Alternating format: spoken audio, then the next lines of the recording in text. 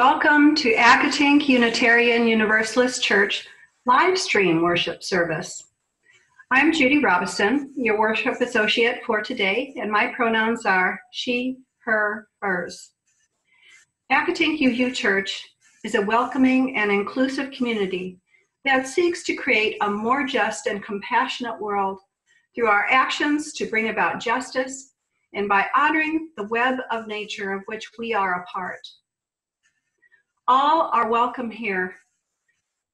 No matter whom you love, no matter your identity or heritage, no matter your beliefs or background, no matter your means or gifts, you are welcome here in this religious community. If you are new to Accotink and you would like to talk more about this church, please be sure to reach out to me, to our minister, Reverend Pippin, or a member of the board. Contact information is posted on our website at www.accotinkuu.org. On our website, you can check the online order of service on the worship section of the webpage. While you're on website, be sure to check our events page for upcoming virtual gatherings and other news. I now invite you to close your other windows and apps and devices, take a deep breath, and center yourself for worship. I am very happy to introduce our guest minister for this morning, a familiar face to many of us. Reverend Rebecca Benner is a lifelong Unitarian Universalist and a minister who served this congregation from 2000 to 2007. She still lives in Burke with her husband Derek and is a full time at home parent for their three children Alden, 13, Elias, 9, and Jasper, who is 6. They attend the Unitarian Universalist Congregation of Fairfax. It is a great pleasure to be with you this morning. Although I wish we could be in shared space together and that I could see all of your beautiful faces, I'm honored to be able to lead worship for this community, which is so dear to my heart. Let us begin with these worship words by Gretchen Haley. What's going to happen? Will everything be okay?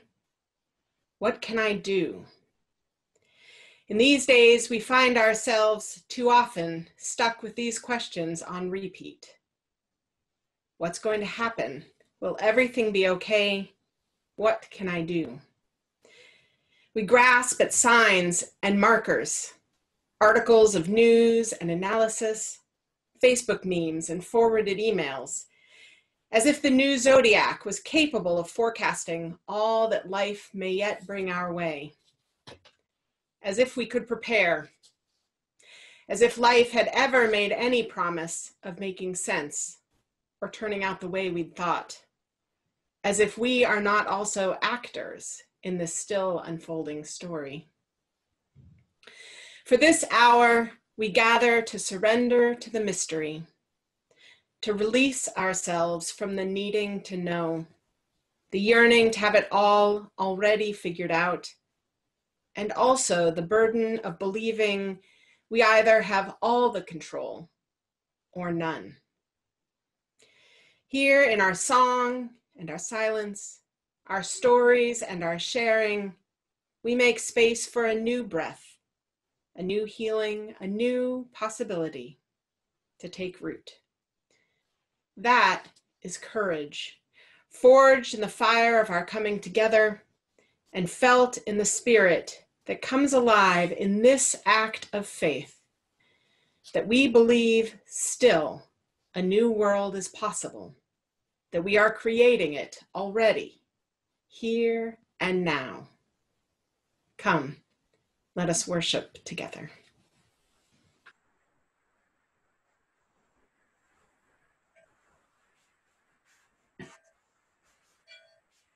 The words for our chalice lighting are by Sara Eileen LaWall. Out of the flames of fear, we rise with the courage of our deepest convictions to stand for justice, inclusion, and peace. Out of the flames of scrutiny, we rise to proclaim our faith with hope to heal a fractured and hurting world. Out of the flames of doubt, we rise to embrace the mystery, wonder, and awe of all there is and all that is yet to be. Out of the flames of hate, we rise with the force of love, love that celebrates our shared humanity. Out of the flames, we rise. I now invite you into a time of prayer and meditation as we try to quiet our minds and hearts and enter into the presence of this moment, of one another, and of the holy that resides within and among us. We gather today not with our physical selves, but with the spirit of yearning which leads us to seek out community and connection calling us to be together, even as we remain apart. On this particular day, we find ourselves at the beginning of a new season of warmth and light, and on a day set aside to celebrate fathers. Like all holidays designed to recognize people in our lives, Father's Day is not a simple day. For many, it is painful or complicated as we mourn fathers no longer with us, or wish for a kind of father we never had, or feel doubt about our ability to be the kind of father we want to be, or wonder if we will ever get to be a father in the way we hope to. And so, truly living this day means living all of it the joy and gratitude and forgiveness, and also the sadness and ambivalence and loss. Let us remember that who we decide to honor this day need not be limited by biology or gender. We can give thanks to all of those of whatever gender and relationship who have played the role of guide and nurturer and support as we have moved through our lives. As we sit together in silence for a moment, I invite you to think of those who have accompanied you on your way, who fathered you at some point in your life, who helped make you who you are. For all of those who shared of themselves so we might know ourselves to be strong and worthy and loved, we give thanks. Let us be in silence together.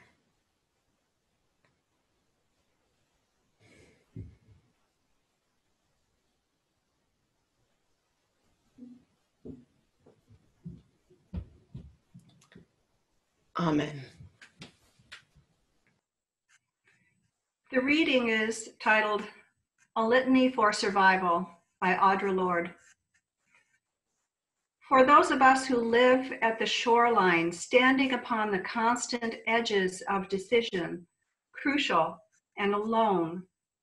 For those of us who cannot indulge the passing dreams of choice, who love in doorways, coming and going, in the hours between dawns, looking inward and outward, at once before and after, seeking a now that can breed futures like bread in our children's mouths, so their dreams will not reflect the death of ours.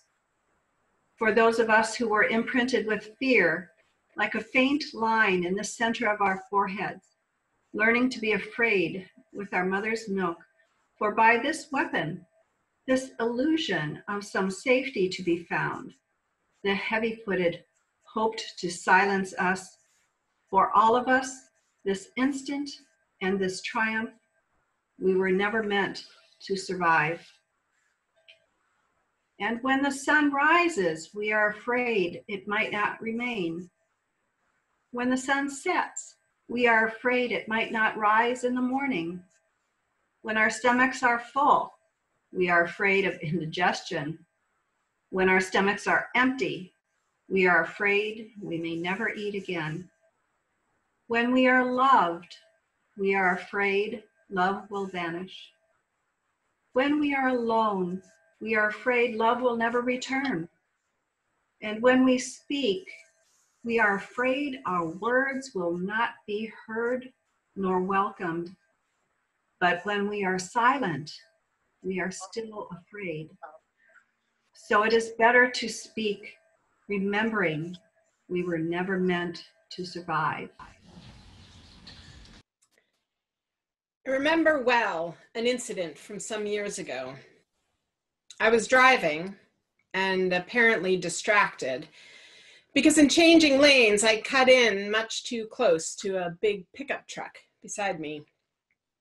Luckily, we didn't have an accident, but the driver of the truck had to hit his brakes hard in order to avoid me. He then laid on his horn, swung around me, and made a hand gesture that I'm sure you all can imagine. At first, my reaction was an uncomfortable mix of guilt. After all, I had been at fault for sure, and defensive anger in return. He didn't know me. Why was he so angry about a small mistake that resulted in no harm to anyone? But I got a look at the driver's face as he sped by me in the left lane. And what I saw there, beneath the bluster and the gesture, was fear. I had made him afraid. And I suspect it was that, more than anything else, that made him so angry. As soon as I recognized his fear, I was able to feel, feel my own fear, both at the near accident and at his response. Suddenly, at least in my own understanding, we weren't two people in opposition to one another but rather two people who had just shared a frightening experience. This is a fearful time.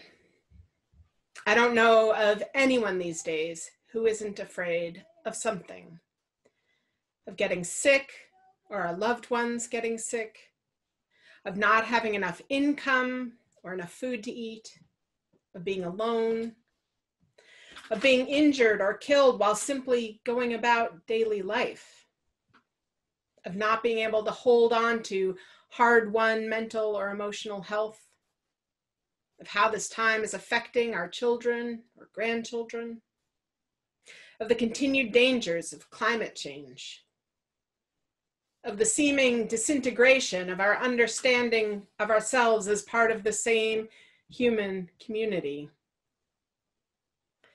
of the uncertainty that envelops everything. And even though we are all afraid, that fear has not brought us together. If anything, it often seems to pull us further apart.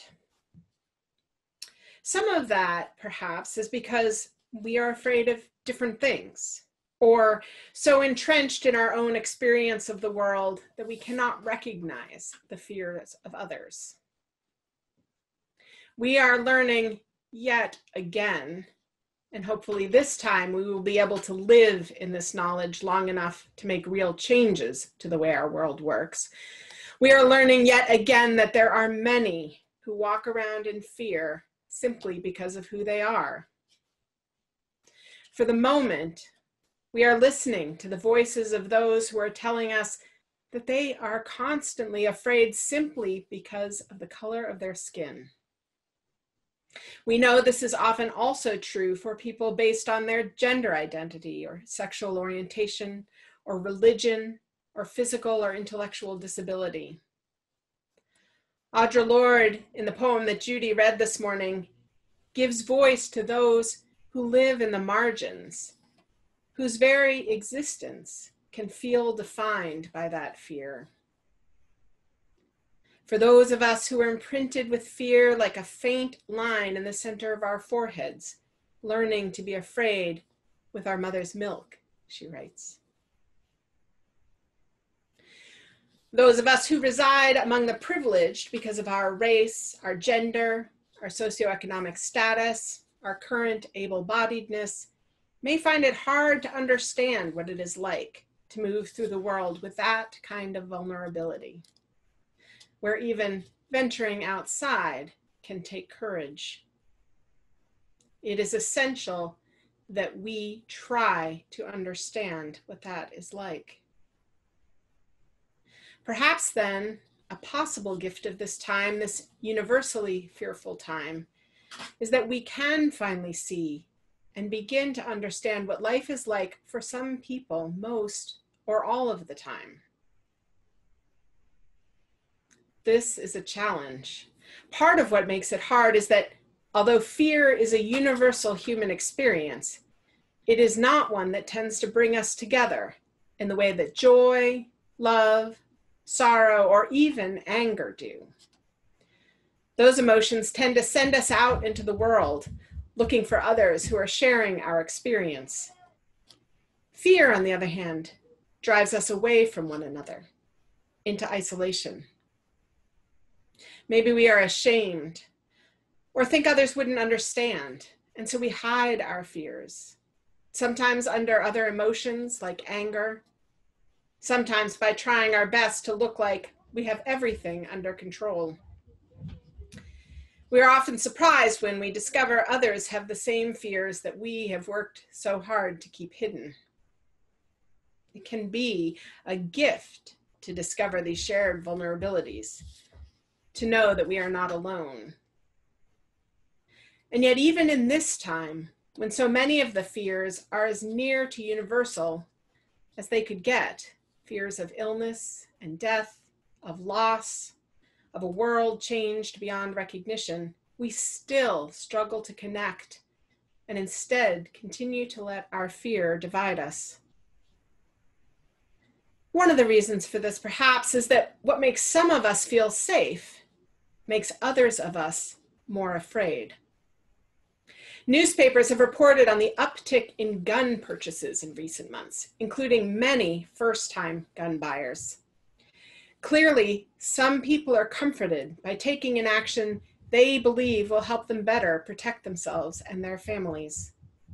But others find this very same action to be something that makes the world even more frightening. Or take the efforts to stop the spread of COVID 19 through shutdowns, hand washing, and mask wearing. For some, these actions are, if not exactly comfortable, at least helpful in giving us a sense of agency in the face of the crisis. But for others, they simply highlight the risks of the time, keeping fears front and center. The New York Times printed an op ed piece on June 1st that chronicled people's experiences of wearing masks in the South. Kay West from Asheville, North Carolina, shared her story. She wrote On my way to Charlotte, I had to stop at a convenience store for the restroom. I was the only person of perhaps 20 inside who was masked and was clearly being given the stink eye. I brought a drink to the counter to pay, and the employee behind the plexiglass screen asked me if that was all. I said yes, and he said, Take it. I was like, Oh, thanks. Happy Mother's Day? And he said, No, your mask is scaring us. The very thing that made her feel safer made others afraid. Given all these challenges, both personal and communal, where do we go with our own fear and the fears that others carry? How do we live with all of these fears, so overpowering in the moment, with opening up rather than shutting down? with reaching out rather than entrenchment? And how do we do it in a time when we are being kept apart by a disease which thrives when we are together? I wish it were as simple as our story this morning makes it seem that kindness is stronger than fear. Certainly, kindness is essential. And if we were all able to start there, the world would be in a much better place. So, yes, by all means, let us strive to be kind whenever and wherever we can, even if it feels risky, even if it takes courage. But kindness isn't enough. The call to kindness as the only or primary solution to fear papers over all the things there are to be genuinely afraid of and all the harm we can do when we don't recognize the fears of others. I think there is another message in the story that can help lead us in the right direction.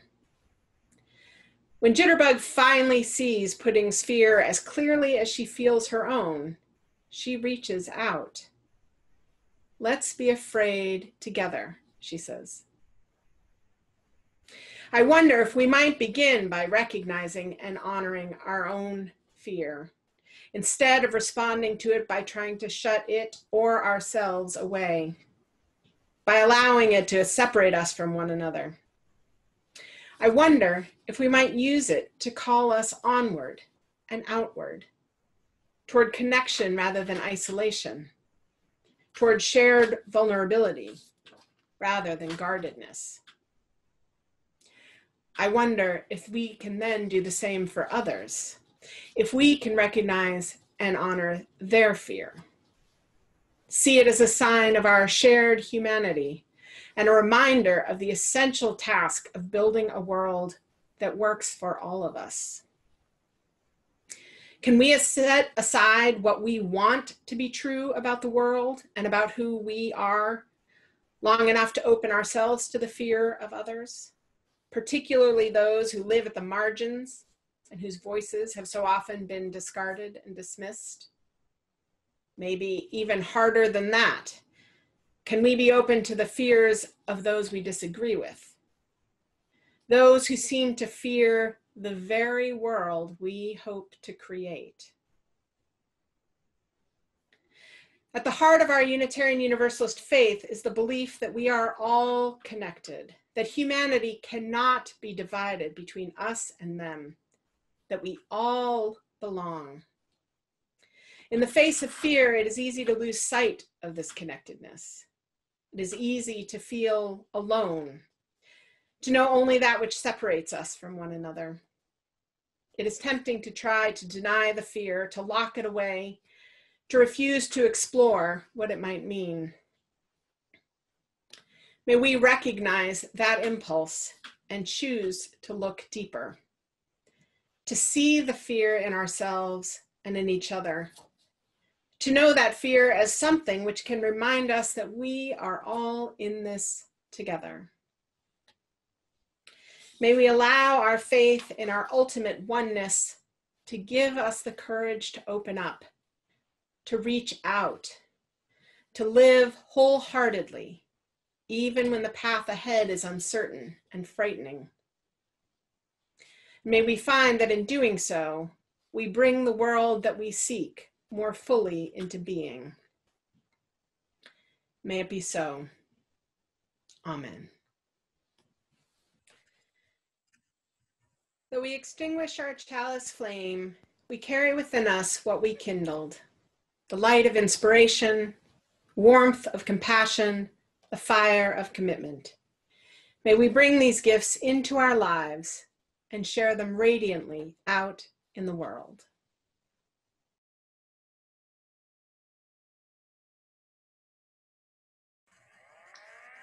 I invite you to join me now in our community blessing with these words from David Bumbaugh. This church is dedicated to the proposition that behind all our differences and beneath all our diversity, there is a unity that makes us one and binds us forever together in spite of time, death, and the space between the stars. We pause now in silent witness to that unity. We close with these words some of my favorite words of all time by the Reverend Wayne Arnason. Take courage, friends. The way is often hard, the path is never clear, and the stakes are very high. Take courage, for deep down there is another truth. You are not alone. May it be so. Amen.